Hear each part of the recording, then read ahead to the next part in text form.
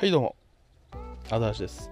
今日はね、あの、ここの、ここのクラピアのね、お世話をしていこうと思ってカメラ回してます。本日は4月の6日。だいぶ暖かくなってきてますが、もうちょっと早い時期にした方がいいんだろうけど、今日はね、ここに砂をね、巻いて、こう水平にならしていこうかなと、そういうことを考えております。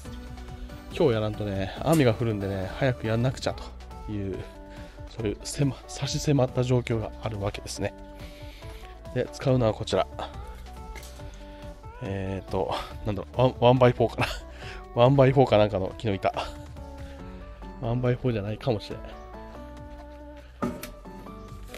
で、これはね、ホームセンターで買ってきた除菌サンド。15kg で600円ぐらいした。高いよ。こいつは高いよ。で草抜きもしてたんだけど草抜いてもね拉致があかんのでねもう一旦砂まいて水平にしてそれでもなお芽が出てくる草を抜こうかなという作戦に切り替えました。あまりいい作戦ではないけれどね。よいしょ。でおもむろに巻いていく。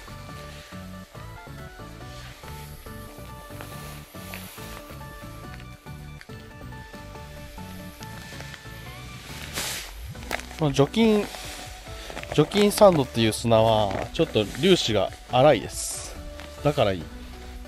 でこの辺めちゃくちゃ抜いたんでボコボコしてるので。草抜くとね凹凸がすごいからね。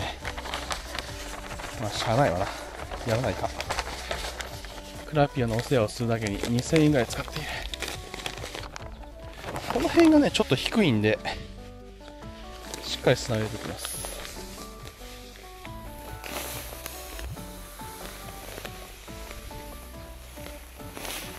低いかどうかは感覚足の踏む感覚で。こ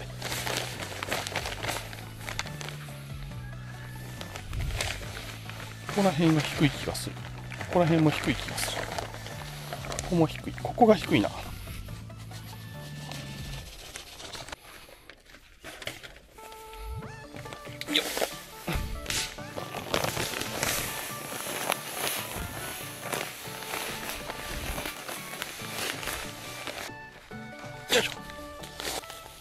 去年はね10袋ぐらい入れてる。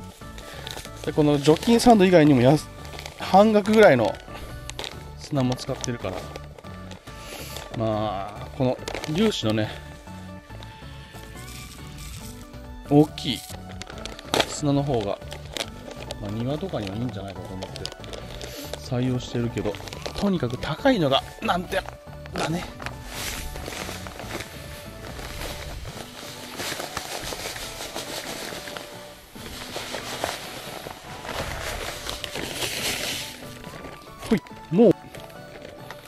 4袋があっという間。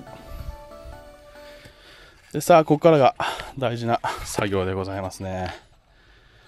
ここからが大事。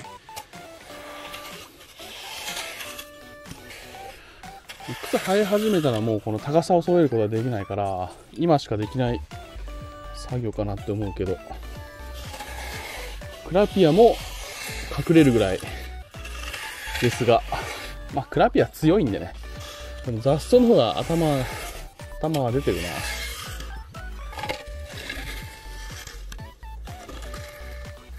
いや、全然、全然隙間が、全然隙間がある。